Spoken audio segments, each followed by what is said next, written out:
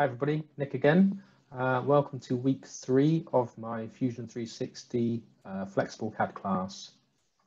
Um, today we're going to be looking at modelling up a, a, piston for a car engine.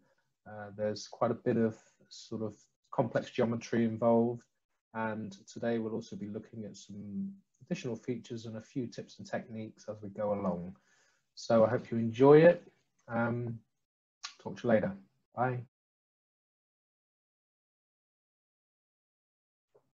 Okay, everybody, I've got a fresh design file. I'm going to go and save as piston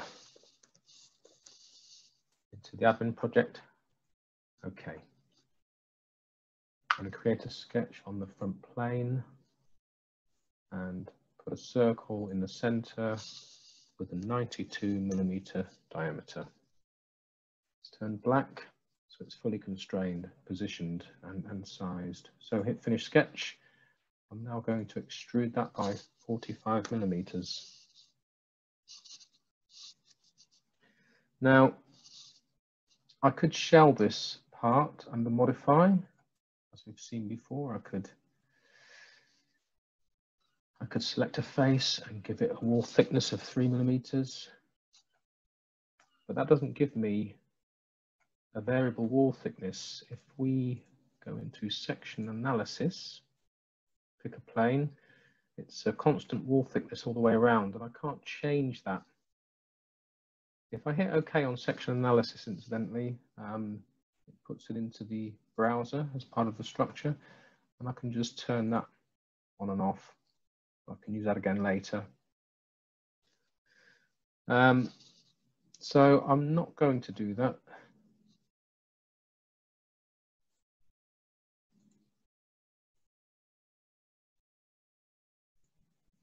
Going to choose another way. I will sketch on this top face. And I want it 3 mil wall thickness, so 92, I'll make that 86 diameter. Okay. So I want the walls 3 mil thick, but I want the bottom face, um, bottom section thicker. So I am going to, sorry, finish sketch, and I'm going to extrude that down as a cut. Um, so it's 45 millimeters high. So if I choose a 39 millimeter distance, or minus 39 in this case, and it defaults to cut, you can change that, of course, but we're going to leave it at cut, which is what we want to do. So as I went back in time, I lost my section analysis. I'll put that in now. Let's just check. As you can see, I've got a six mil thickness there and three mil there. Yeah, okay. And turn that off under analysis. Okay. I'm going to fillet the inside edge to two millimeters. Be a constant radius because it's a geometric shape, symmetrical. Okay. And I'm also going to chamfer this outer edge to one millimeter. Okay.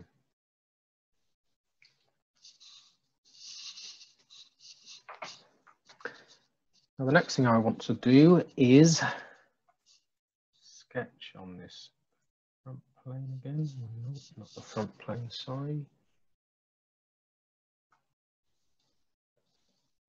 Bottom plane and use that plane there. Now, as I'm sketching right this moment, um, I'm going to go into wireframe view and rather than going down here to the display settings and visual style, um, I can hit control seven. So I'm just going to go ahead and do that. Now I'm going to put a line from the top center to the bottom center, just some reference geometry. And if I highlight that line, go over here and hit construction, it makes it a dashed line. Now, if I had a dashed profile, I wouldn't be able to extrude that. It's just simply there for reference and, and helping with my construction. Because I want to put a circle right in the center of there. It's going to be a 20 millimeter circle. I'll go back to control six to get me back into rendered mode. And I'm going to finish that sketch and extrude. Now, I don't want to extrude it one way. I could extrude it two ways and you can have varying lengths either way, but I want to go symmetric. As I pull this handle, the other one follows it.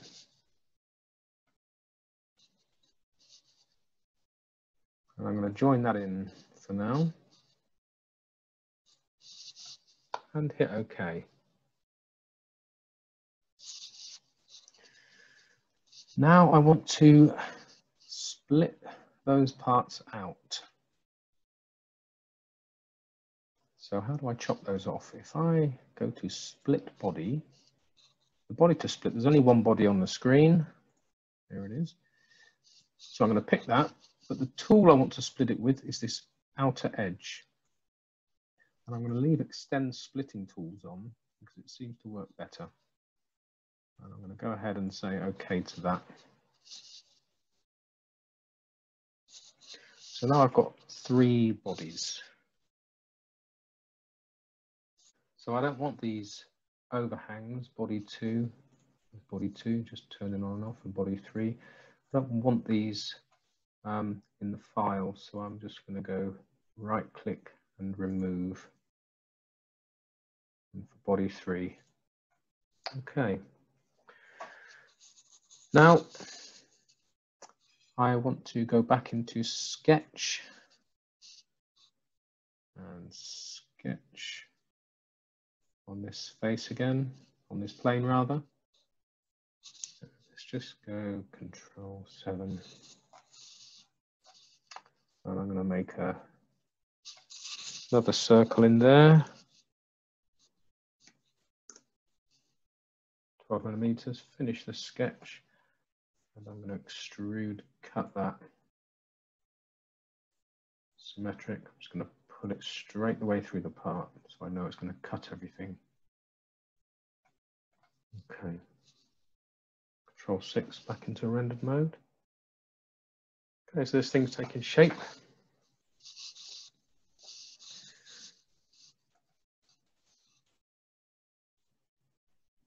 Okay, I've got my chamfer on the bottom. Okay, I want to reuse an earlier sketch. If I open up sketches, once you finish sketch, they automatically sort of turn themselves off. Um, so there's the sketch. Um, so I've just turned sketch 3 on that made this boss. Now I'm going to use that geometry again and this time I'm going to cut a section of this away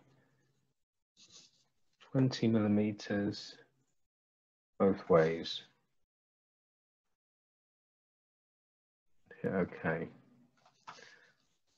Now I don't want to see that sketch anymore. I've used that. Okay. Now I'm just going to add a chamfer to both of these, all of these actually, one millimeter chamfer and hit OK.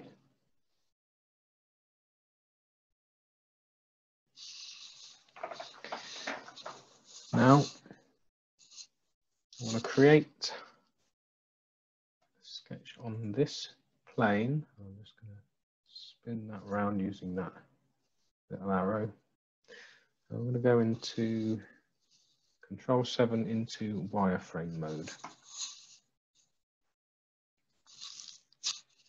Now I want to draw a circle. Place it in the center above the part and make it 100 millimeter diameter. And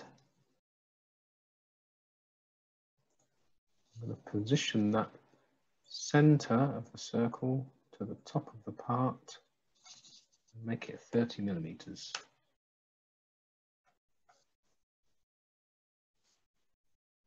Okay. And then going to, actually I shall draw a rectangle from there to there.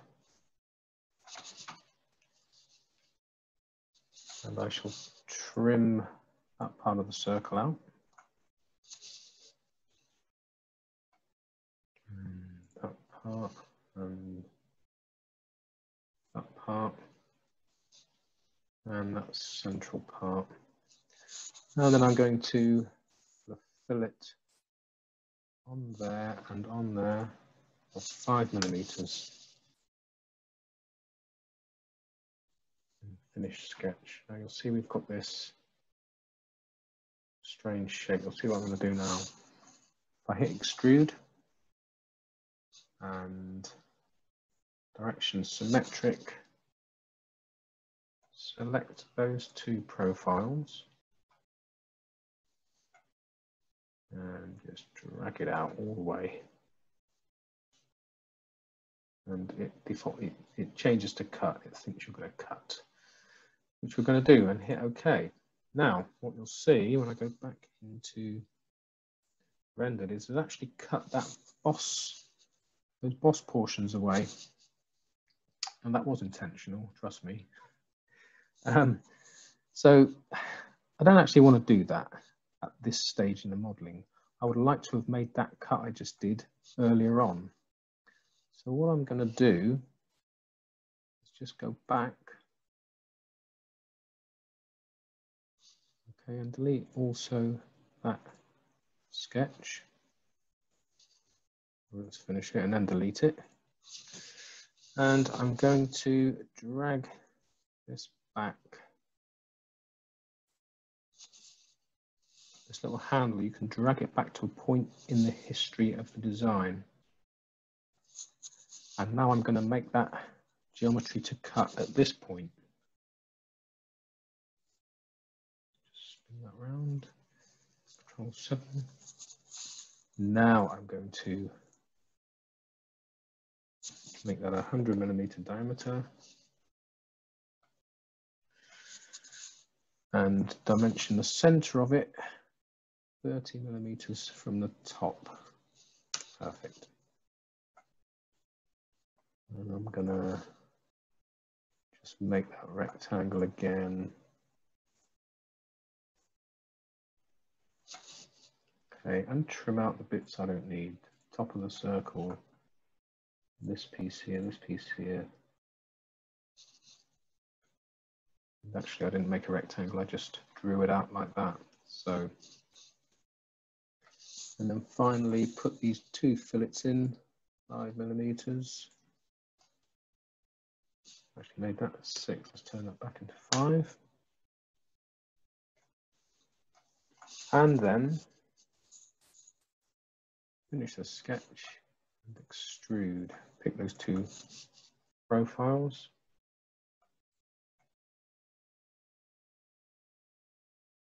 Change your operation to cut, symmetric cut all the way through and hit OK. So now we're still, we've still gone back in time along the history line or history tree. Um, if I now drag that forward, you can see because I've positioned that cut earlier in the history tree, I can just drag forward. And it hasn't affected those bosses now. So you can kind of play around what you're actually doing. You can step back in this in this tree step by step. Okay, you can drag it all the way back to the front. You can hit this play button.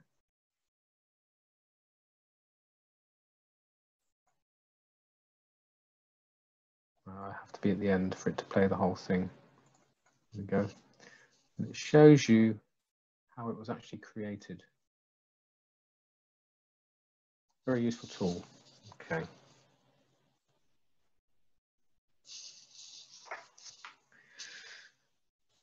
We're not far off being done now. I want to create a sketch on this face again, rotate that, Control 7, see what I'm doing. Now I'm going to make three rectangles. Just go into the um, just go into the part. And actually I want those to go into the part by a where are we, a distance of from that line to the edge. Can't do that. I'd have to draw a line there better. And I'm going to fix that line. I don't want it to move. And I want to dimension that to that to be two millimeters. There you go. I can delete this out now. And I want a pattern of three of those. So I'm going to do a rectangular pattern. What is it I want to pattern? I'm just going to draw a rectangle around that, a window rather. Um, select the direction.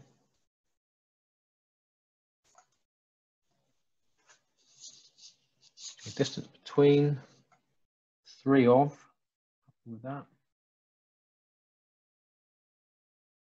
As you can see, it makes a nice pattern of those. And hit OK.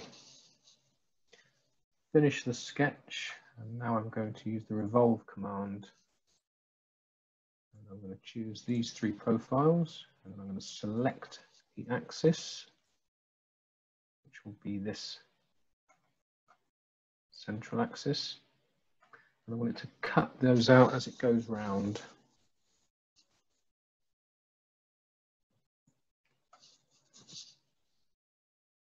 Back into rendered mode. And you can see now we've made the oil rings and compression ring grooves.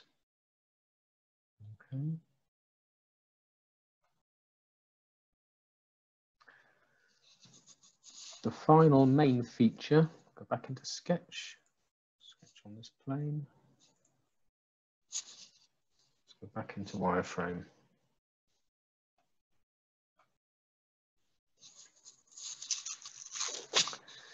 Now I'm going to draw a small line from there. Like that. Two millimeters long.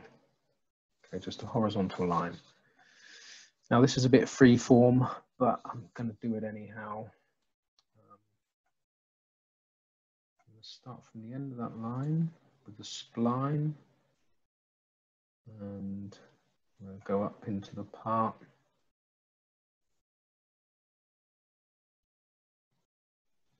and back out.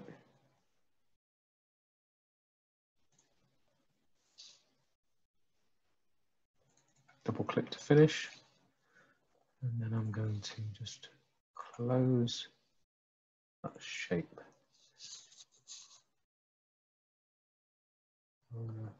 Change that control point, that's better.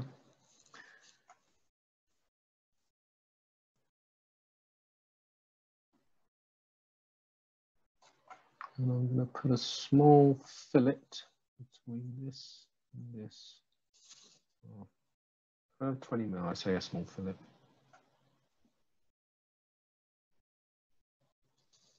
That's good.